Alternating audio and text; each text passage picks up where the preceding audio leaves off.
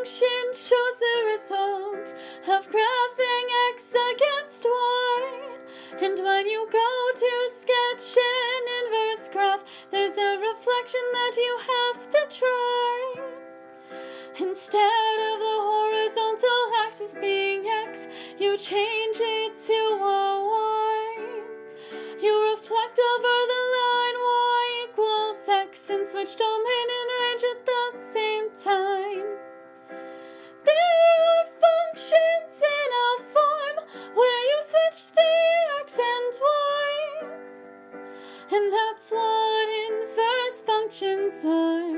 And how they are described.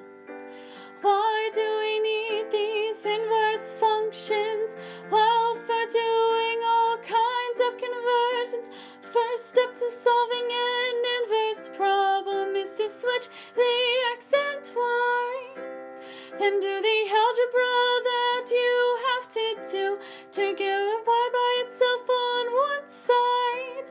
And if you ever forget the original function, don't break down and cry.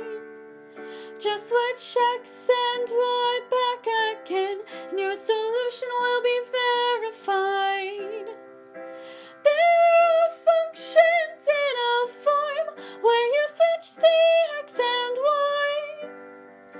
And that's what inverse functions are and how they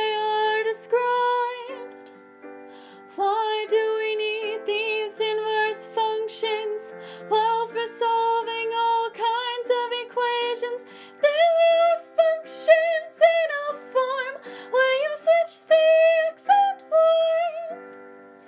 And that's what inverse functions are and how